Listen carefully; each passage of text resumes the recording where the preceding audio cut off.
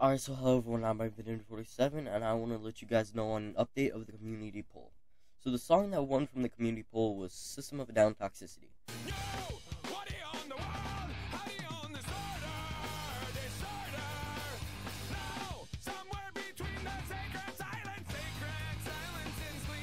So that is a song I will be covering next.